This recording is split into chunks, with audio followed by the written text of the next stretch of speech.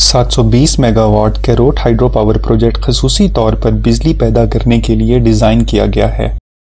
ये मंसूबा build, own operate transfer की बुनियाद पर तामीर हो रहा है और 30 साल बिजली पैदा करने के बाद सूबाई हुकूमत के हवाले किया जाएगा।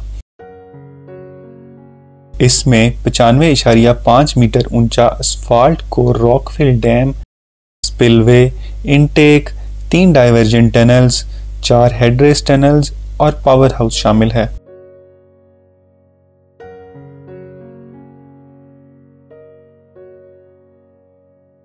पावर हाउस में चार फ्रांसिस टर्बाइंस नस्ब हो रही हैं, जिनमें से एक की पैदावारी सलाहियत 180 मेगावाट है।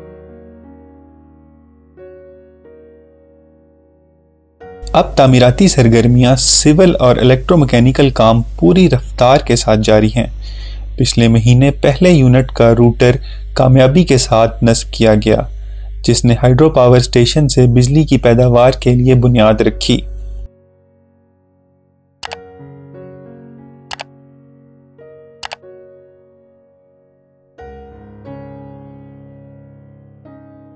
इस प्रोजेक्ट पर तामीराती काम 2016 में शुरू हुए थे और तकरीबन इक्यानवे फ़ीसद काम मुकम्मल हो चुका है।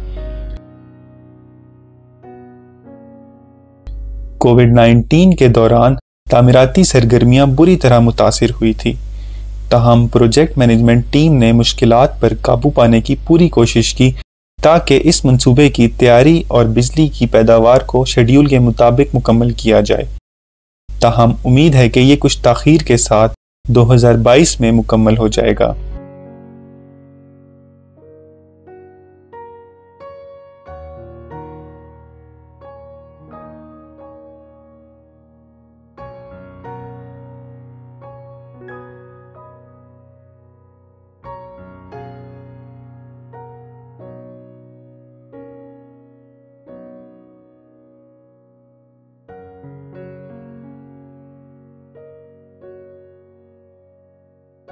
ये चीन, पाकिस्तान इकतसादी राहदारी, यानी कि सी पैक का पहला पन बिजली मनसूबा है।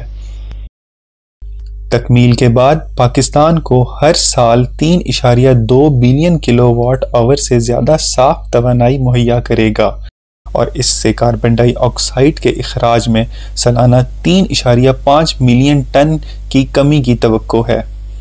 जबकि तवानाई के ढांचे को बेहतर बनाते हुए और कार्बन न्यूट्रलिटी के आलमी मकसद में शिरकत करते हुए पाकिस्तान की तवानाई की तामीर, माशरती तरक्की और मीशत को फ़रोग मिलेगा।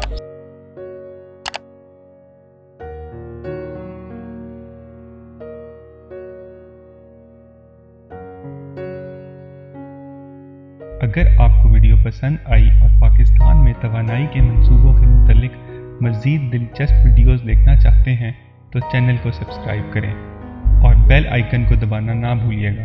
अपनी कीमती तजावीज़ को कमेंट में लिखें और ब्राह करम थम्स अप का बटन दबाएँ। शुक्रिया।